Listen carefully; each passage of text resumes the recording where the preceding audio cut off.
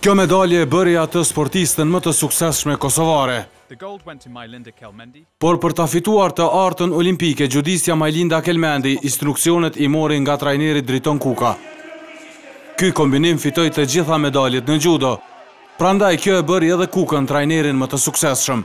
Është nder dhe krenari për mua që Sportistat të cilët kanë stërvitë me mua si trajner i tyre, kanë arrit të gjitha medaljet e mundshme dhe ato të arta, prej trive e deri te medalja e artë olimpike.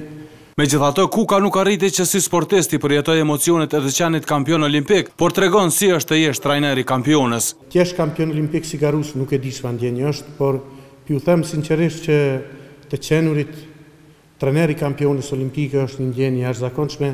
Unë po besoj që emocionet si trajner dhe si garues dallojnë shumë pak, sidomos në rastin tonë, sepse Majlinda ka fillu këtu qysh shtatë tetë vjeç, nëntë vjeç me stërvit, domethënë është rrit afër nesh, ajo ma shumë ka qëndru në këtë sallë këtu se sa në shtëpinë e vet. Përpos me Kelmendin, Kuka ka arritur suksese edhe me Nora Gjakovën, Distria Krasniqin dhe Akil Gjakovën.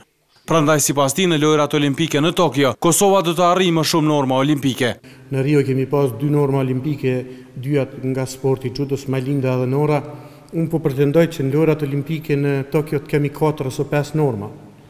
Do të thotë kjo është me të vërtetë një vlerë e jashtëzakonshme, prandaj duhet të kthehen sytë pak ma seriozisht kah sportet të cilat janë me Me rezultate nuk ka ma turizëm, unë jam kundër turizmit në sport, le të shkojnë ata që kanë mundësi, ndërsa të tjerë le të punojnë ma shumë. Por për ta arritur këtë, ai thotë se duhet edhe ndihma e shtetit. Kuka është i lumtur për ligjin e kategorizimit të sporteve, por jo edhe me ndarjen e fondeve.